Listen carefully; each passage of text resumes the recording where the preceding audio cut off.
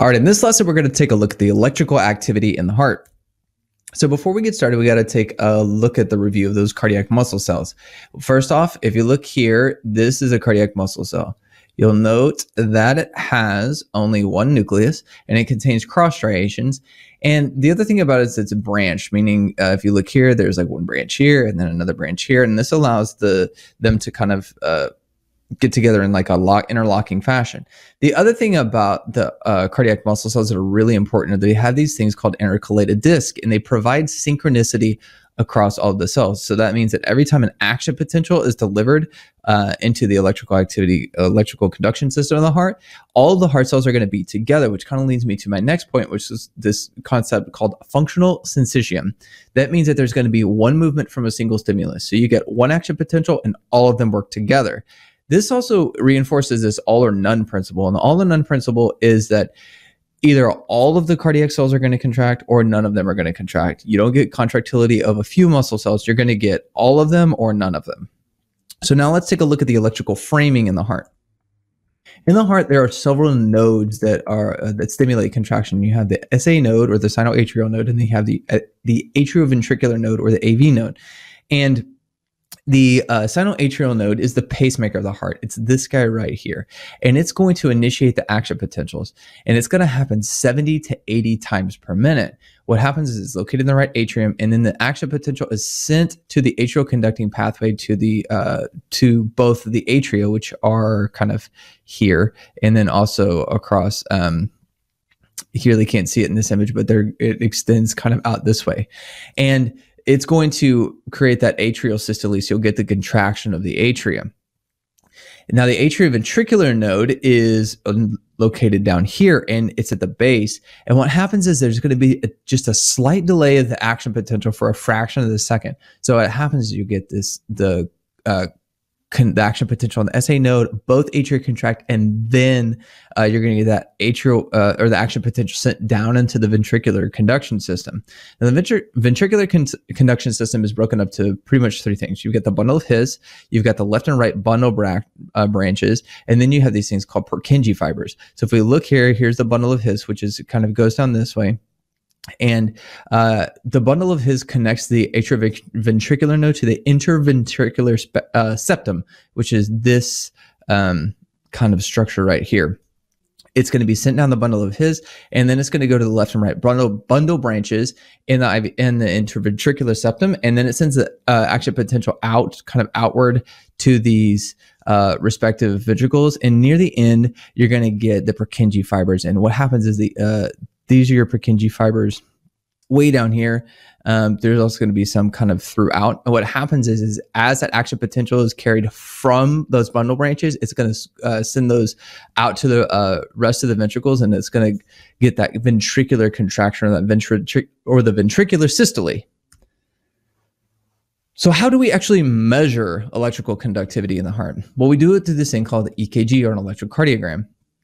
And in order to understand the way it works, we have to look at the basic structure of it. So this is a what we call a lead 2 EKG, and you have a P wave, which is this structure right here. Then you have the QRS, which is also known as the QRS complex. You have, and then you have the T wave. And then there are measurements from any of these things. So you'll have a PR interval, you'll have a, a QT interval, you'll have an ST interval. So if we look at this, you have Q, which is here, you have R, which is up here, and then you have S. So this is why it's called the QRS complex. And then you'll look from here to here, that's the ST um, segment. So if what we do is we compare this um, graph essentially to what's happening during the conduction. So during uh, during this P wave, you're going to see atrial systole. So you'll get that um, this is going to be your time that the uh, the SA node is conducting that action potential. Then you have the PR interval, and that's going to be the time from your uh, from the sinoatrial node to the AV node. That's going to be that slight delay that we talked about.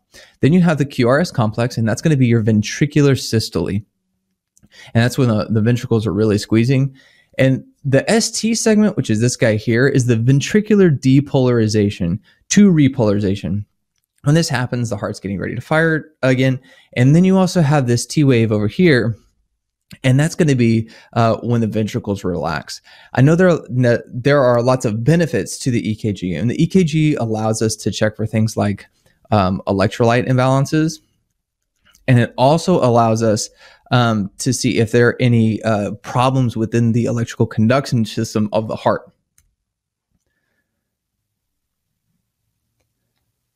Now, one of the good benefits of uh, the heart is that it can it basically contracts and beats in a rhythm. Sometimes that doesn't happen, and when that doesn't happen, we call this an arrhythmia. And you can have different causes for arrhythmias. So the first thing we're going to look at is arrhythmias of the SA node. So you can have an alteration of the SA node. This first one is bradycardia, which is a slow rate. It's going to be less less than 60 uh, action potentials or 60 beats per minute. And this is normally, um, this occurs normally in some people. Like my normal heart rate is anywhere from 40 to 50. And um, some people just have low heart rates. And then you can also find this in, in endurance athletes and uh, people with really high levels of physical fitness. Uh, so you're going to see really low heart rates. And this is normal for some people, but in some people, it's not. And when it's not, you can look at different causes. So certain drugs will do it. Um, uh, certain conditions like hypothyroidism will do it. Um, then you have the other way, which is tachycardia. So this is going to be a slow rate. So tachycardia is your fast rate. And this is going to be anything greater than 100 beats per minute. And you're going to see this for a lot of reasons. The first one is the body has a great way of accounting for problems, and this is through things called com- uh, compensatory actions. So if you have someone who has a low blood pressure and uh, we need to get the body needs to get perfused uh, better, what happens is the heart rate goes up because it says, hey, we need to make sure that we're getting all the necessary oxygen out to all the tissues. So you'll actually see it as a compensatory mechanism here. Another reason you that uh, it sometimes occurs is that uh, this process of something called hemorrhagic anemia. Basically, you have anemia, which is low red blood cells, and it's caused by some sort of bleed. So, if there's something like internal bleeding, what's happening is is the body saying, "Hey, I'm not getting enough oxygen, so we need to increase how quickly we're getting it, so that will increase that heart rate." Then you have certain uh, types of drugs that will cause uh, an increased heart rate. So caffeine, nicotine, other stimulants, uh, these things will also increase the heart rate. And then lastly, you can get a fever from an uh, from an increased heart rate. Now, there's also another cause of arrhythmias, and they're called an ectopic focus.